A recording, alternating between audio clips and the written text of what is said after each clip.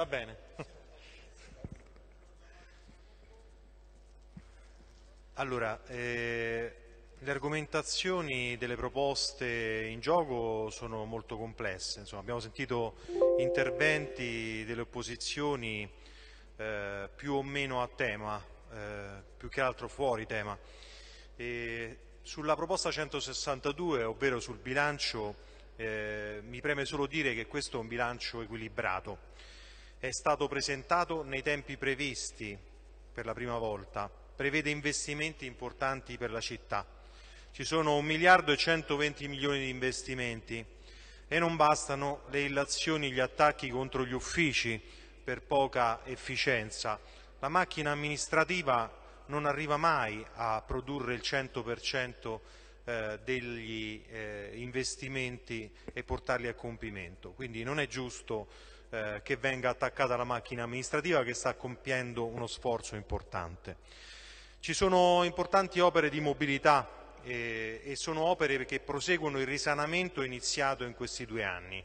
Eh, la sindaca ne ha parlato approfonditamente, anche l'assessora Gatta, anche la Presidente Agnello e anche ehm, l'assessore eh, Lemmetti. Eh, non vi dilungo su questo, per, ehm, noi ci preme solo dire che investiamo nel futuro di Roma Capitale con questo importante passo avanti che proseguirà negli anni avanti con gli investimenti, acquisto di autobus, mobilità, quanto poco era stato fatto dalle amministrazioni precedenti, tanto faremo noi di più nel, negli anni successivi. Passando invece alla proposta numero 161, come ho detto in Commissione sottolineato anche dal consigliere Pelonzi, c'è stato un percorso irrituale quest'anno.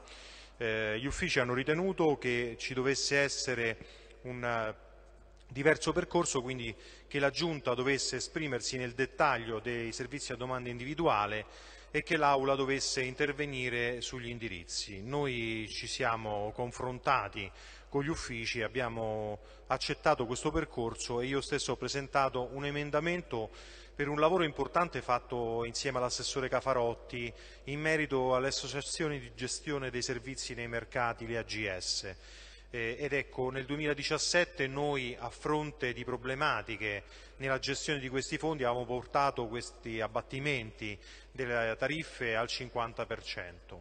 Eh, abbiamo ribadito con una mozione, la 231, che eh, in virtù di un percorso molto approfondito fatto con i presidenti delle AGS, con l'associazione di categoria, noi nel 2019 ripartiamo con un abbattimento del 65%, quindi consegneremo più fondi ai mercati per poter continuare e proseguire nel lavoro fatto.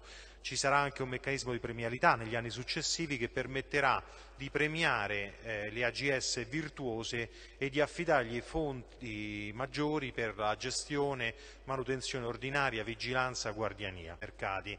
I posteggi eh, rimasti liberi verranno messi a bando e già in parte sono stati messi a bando e, ehm, e puntiamo su somministrazione e consumo sul posto come leve importanti per la, eh, eh, il rilancio. Eh, abbiamo ribadito che l'importanza sociale e commerciale dei mercati devono andare di pari passo, li stiamo rilanciando in questo modo.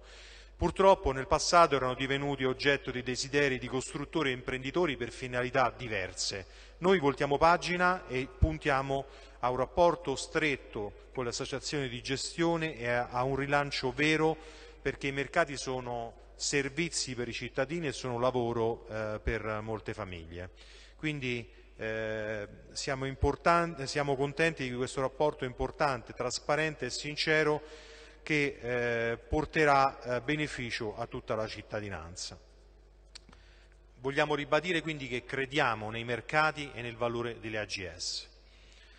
Ora mi spiace aprire invece una parentesi sulla proposta numero 160, eh, un pochino delicata insomma. Il piano finanziario di Ama è strettamente connesso al contratto di servizio, il contratto di servizio che è allo studio e deve essere rivisto. Ora, noi siamo qui nominati dai cittadini per migliorare la situazione dei rifiuti e per risolvere lo stallo di un sistema malato. Dopo una guerra sleale della regione sulla pelle dei cittadini, Zingaretti Zingaretti è stato condannato due volte dal TAR perché la Regione era inadempiente rispetto alle prescrizioni di individuare la rete integrata adeguata de, per impianti di smaltimento dei rifiuti in ambito regionale. Ci chiediamo se questo stallo fosse voluto o se fosse semplice incapacità di azione, magari per non creare scontento nei cittadini, per individuare delle aree eh, che naturalmente sarebbero state mal volute dai residenti. Ora, al di là delle colpe però di Zingaretti e della Regione, questa amministrazione deve fare una riflessione. Dobbiamo onestamente riconoscere che, nonostante un piano sfidante e innovativo, il problema rimane. Il problema rimane. E quindi, quanto diceva anche il consigliere Porsetti, è vero, e, è vero, è ehm, eh, uno spazzamento poco frequente e di scarsa qualità richiede eh, azioni forti. E, ehm, la raccolta risente di molteplici fattori che la influenzano negativamente. Le utenze non domestiche, partenza con grandi difficoltà e ritardo. E, ehm, i contenitori non sono a norma, la normativa eh, in materia di igiene non è rispettata. Bisogna agire meglio su questo, va effettuato il controllo della frequenza dei passaggi. Abbiamo suggerito un protocollo con l'associazione di categoria del commercio che doveva essere pensato a priori e che tarda a partire. Ci vuole più controllo per la sicurezza sui mezzi che si guastano troppo spesso e sugli impianti che non sono sorvegliati adeguatamente e nei quali accadono fatti criminali. Nell'incendio del TMB Salario ci sono responsabilità dirette e indirette. Chi ha permesso che l'area non fosse vigilata ha una responsabilità indiretta nella vicenda. Ricordo un'altra vicenda, giugno 2018, le marmitte di circa una ventina di mezzi furono smontate, dei serbatoi svuotati chi sono i responsabili? Sono stati individuati?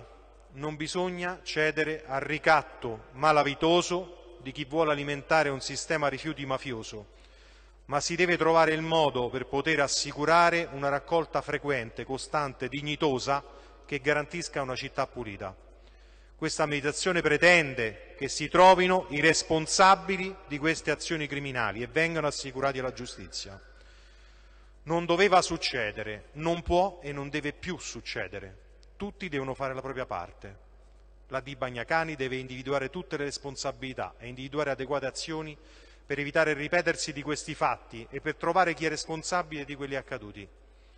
La dirigenza dell'azienda deve dimostrare la propria capacità gestionale, prendersi le proprie responsabilità e richiamare alle proprie tutti i lavoratori.